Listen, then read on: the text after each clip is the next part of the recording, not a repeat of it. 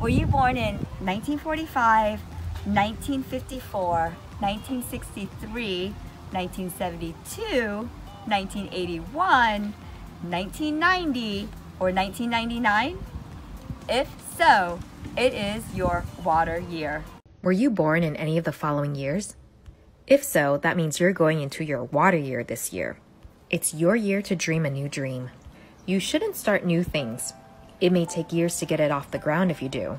It's like the season of winter. Rest, reflect, and prime. It's one of the most complicated years unless you allow yourself to relax and do the inner work of discovering who you've become and dream.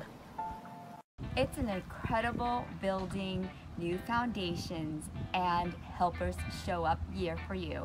If you were born in 1953, 1982, 1971, 1980, 1989, and 1998. So this is the year for you to go for it if you were born in 1952, 1961, 1970, 1979, 1988, 1997, and 2006. This is your yang wood year and things are gonna move fast.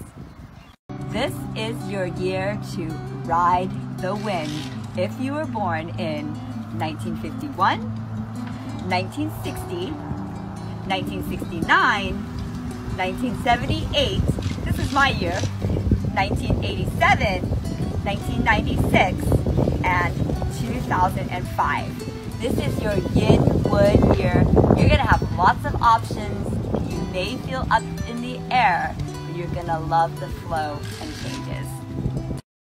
This is a really powerful year for you if you are born in 1950, 1959, 1968, 1977, 1986, 1995, and 2004.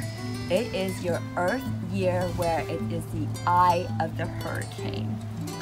It is your yang metal year. You don't want to waste this year. It's the first of two values and fruition years, and it is about owning your power. If you were born in 1958, 1967, 1976, 1985, 1994, and 2003. So this is your yin metal year that you do not want to waste because the theme is experience beauty and you're all about beauty.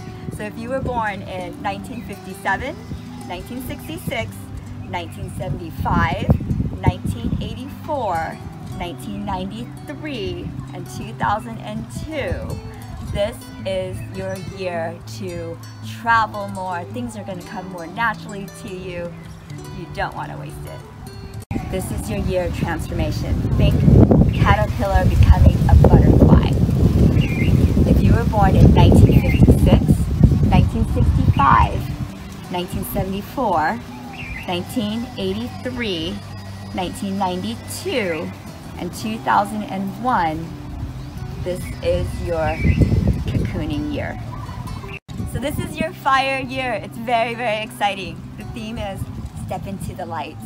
So if you were born in 1955, 1964, 1973, 1982, 1991, and 2000, this is your year where things are gonna move very, very fast. It's gonna feel so different from last year.